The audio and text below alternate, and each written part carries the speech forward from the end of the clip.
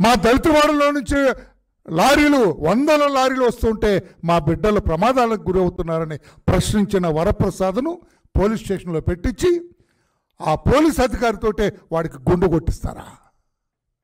What is this audacity దళితులు వద్దా? మీ రాష్ట్రం నుంచి వలస పొమ్మంటారా? ఇతర రాష్ట్రాలకు పొమ్మంటారా?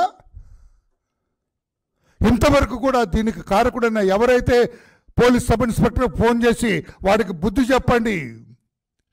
వాడు మరలా మా ఇసుక అక్రమ రవాణాకు అడ్డు రాకూడదంటే వాడిని అరెస్ట్ చేయవలసిన పోలీస్ సబ్ ఇన్స్పెక్టర్ ఈ దళితుడిని పోలీస్ స్టేషన్లోనే గుండు కొట్టిస్తాడా?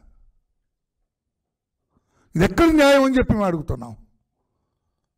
రాష్ట్రపతి గారు కూడా ఇంటర్ఫీర్ అయ్యారు అందులో.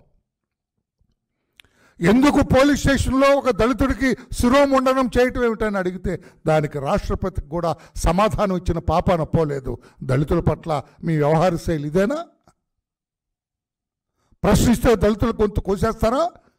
వాడి గుండు గీకేస్తారా? ఇదేమి ప్రభుత్వం జగన్మోహన్ రెడ్డి గారు అని చెప్పి నేను అడుగుతున్నా. ఒక దళిత యువతి కాస్త కంటికి నదురుగా కనపడుతుంటే నలుగురు దుండగులు ఎత్తుకెళ్ళి దాన్ని పోలీస్ స్టేషన్ వెనకే రూములో పెట్టి నాలుగు రోజులు ఆ బిడ్డని మానభంగం చేసి పోలీస్ స్టేషన్ దగ్గర పడేసిపోతే నీ ప్రభుత్వం సిగ్గుతో తలంచుకోవద్దు జగన్మోహన్ రెడ్డి గారు. సిగ్గుతో చచ్చిపోవాలి. ఒక దళిత యువతని నాలుగు రోజులు దుండగులు నీ పోలీస్ స్టేషన్ వెనక మానభంగం చేసి ఆ బిడ్డను పోలీస్ స్టేషన్ ముందు పడేసి వెళ్ళిపోతే there was no proper action వాళ్ళ మీద యాక్షన్ లేదు.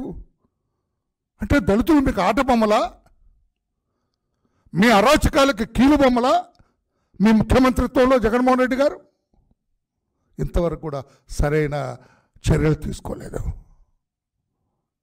మాస్క్ పెట్టుకోలేదని చీరాల్లో కిరణ్ ఒక దళితుడు వెంటబడి వెంటబడి వెంటబడి కొట్టారు. ఏమండదు మాస్క్ పెట్టుకోకపోతే కొట్టి కొట్టి చంపేస్తారో జగన్మోహన్ రెడ్డి గారు? ఇది ఎక్కడేమో ఇంతవరకు కూడా ఆ సబ్ ఇన్స్పెక్టర్ని మూడు రోజులు సస్పెండ్ చేసి మరలా ఉద్యోగం ఇచ్చారు దర్ వాజ్ నో యాక్షన్ మీ మద్యమం విపరీతంగా రేట్లు పెంచి ఇష్టం వచ్చినట్టుగా అమ్ముతుంటే ఆ ఓం ప్రతాప్ వాడికి అలవాటు ఉంది. నైంటీ వేసుకున్నాడు ఎక్కలేదు. ఇంకొక నైంటీ వేసుకున్నాడు ఎక్కలేదు.